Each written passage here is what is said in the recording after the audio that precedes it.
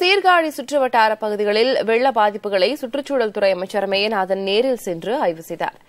வங்கக்கடலில் உருவான குறைந்த காற்றழுத்த தாழ்வு பகுதி காரணமாக கடந்த பதினொன்றாம் தேதி மயிலாடுதுறை மாவட்டம் சீர்காழியில் அதீத கனமழை பெய்தது. இதன் காரணமாக சீர்காழி மற்றும் அதன் சுற்றுவட்டார பகுதிகளில் குடியிருப்புகள் மற்றும் விவசாய நிலங்கள் நீரில் மூழ்கின. சில கிராமங்கள் தண்ணீர் வடியாததால் மின்சாரமும் வழங்கப்படாமல் இருந்து வருகிறது. இந்நிலையில் சீர்காழியில் வெள்ளம் சூழ்ந்த பகுதிகளுக்கு அமைச்சர் மெய்யநாதன் நேரில் சென்று ஆய்வு மேற்கொண்டார். பின் பாதிக்கப்பட்ட மக்களுக்கு நிவாரண உதவிகளை வழங்கினார்.